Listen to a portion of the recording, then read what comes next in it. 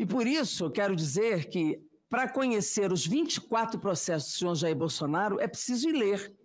E eu posso citar alguns aqui, que, aliás, são base de golpes. Ele está acusado, vou citar alguns: processo de milícias digitais, atos golpistas de 8 de janeiro, joias saudistas, fraude em cartão de vacinação, apologia ao estupro, pandemia, vazamento de inquéritos, interferência na Polícia Federal, uso eleitoreiro de programas sociais, rede de desinformação e urnas eletrônicas. São alguns deles.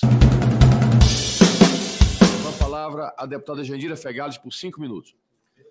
Senhor presidente, primeiro, é, eu entendo que o plano de trabalho da senadora Elisiane é o, é o plano mais os anexos.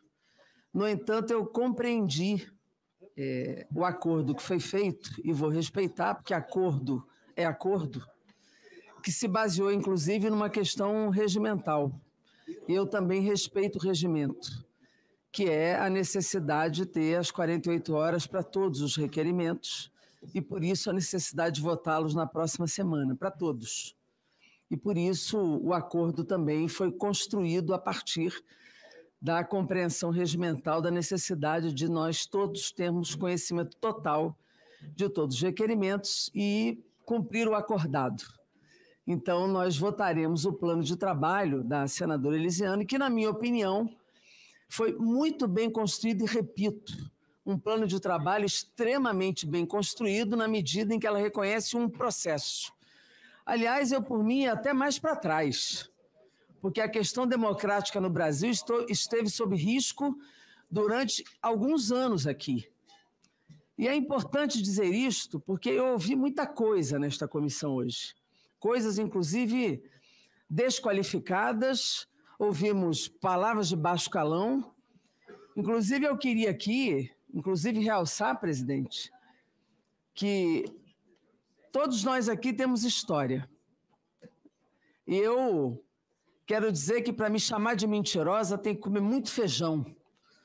Porque quem está saindo das fraldas agora não pode me chamar de mentirosa. Até porque quem me conhece sabe que eu não uso mentira e uso argumentos. E eu tenho história, tenho ideias e não me falta coragem para enfrentar qualquer debate neste parlamento. E por isso eu quero dizer que para conhecer os 24 processos do senhor Jair Bolsonaro, é preciso ir ler. E eu posso citar alguns aqui, que, aliás, são base de golpes. Ele está acusado, vou citar alguns: processo de milícias digitais, atos golpistas de 8 de janeiro, joias saudistas, fraude em cartão de vacinação, apologia ao estupro, pandemia, vazamento de inquéritos, interferência na Polícia Federal, uso eleitoreiro de programas sociais, rede de desinformação e urnas eletrônicas. São alguns deles. Isso tudo aqui faz parte de um conjunto de inquéritos pelos quais o senhor Jair Bolsonaro hoje está é réu. E quando eu falei, é importante também que conheça a língua portuguesa, porque uma frase que vem depois de uma vírgula se refere ao sujeito que vem imediatamente antes da vírgula. Então, quando eu falo, eu não estou mentindo, eu estava falando claramente do ex-presidente Jair Bolsonaro.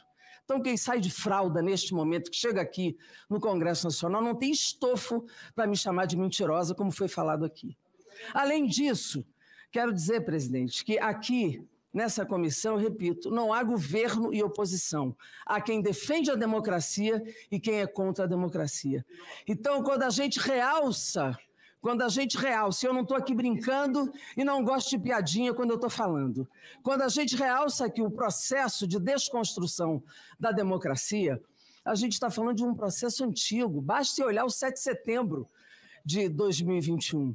Basta olhar o que foi a apologia ao AI-5. Tem processo de cassação na comissão da Câmara por, por apologia ao AI-5 e a tortura.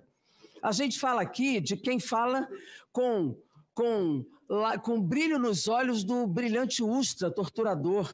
Nós não estamos brincando aqui de falar de democracia. Então, nós vamos investigar isso aqui com seriedade.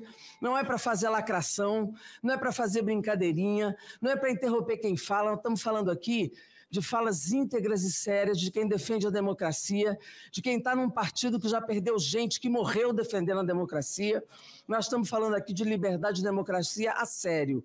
A, a senadora Elisiane buscou um processo de 30 de outubro para cá, que ainda é curto, senadora. Devia até ser mais longa essa apuração. Por isso, seu plano de trabalho é importante e nós temos que fazer o relatório e, a, e as oitivas a começar deste processo e não invertendo o processo. A gente não pode botar aqui quem não é investigado, quem não está indiciado e quem não está em inquérito para começar a falar, inclusive ministro de Estado. O ministro tem que Estado tem que vir aqui convidado quando ele puder vir e não é indiciado, não é investigado e não é ele o alvo da nossa investigação. Obrigado, presidente.